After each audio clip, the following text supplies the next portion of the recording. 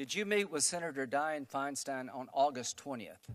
I did meet with Senator Feinstein. Did you know that her staff had already recommended a lawyer to Dr. Ford? I did not know that. Did you know that her and her staff had this alleg- allegations for over 20 days? I did not know that at the time. If you wanted an FBI investigation, you could have come to us. What you want to do is destroy this guy's life, hold this seat open, and hope you win in 2020. You've said that, not me. You've got nothing to apologize for.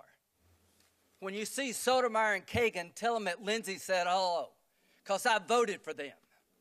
I would never do to them what you've done to this guy. This is the most unethical sham since I've been in politics. And if you really wanted to know the truth, you sure as hell wouldn't have done what you've done to this guy. Are you a gang rapist? No. I cannot imagine what you and your family have gone through. Boy, y'all want power. God, I hope you never get it. I hope the American people can see through this sham that you knew about it and you held it. You had no intention of protecting Dr. Ford. You consider that you've been through a job interview. I've been through a process of advice and consent under the Constitution, which Would has- you say you've been through hell? I, I've been through uh, hell and then some. This is not a job interview. Yeah. This is hell. This this This is going to destroy the ability of good people to come forward because of this crap. Your high school yearbook.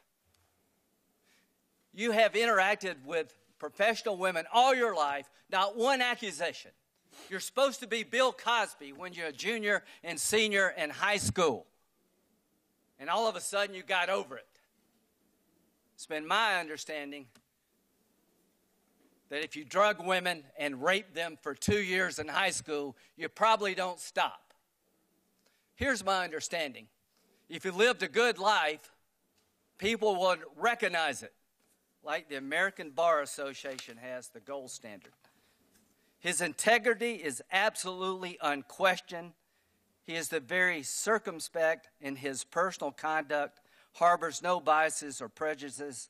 He's entirely ethical, is a really decent person. He is warm, friendly, unassuming. He's the nicest person. The ABA.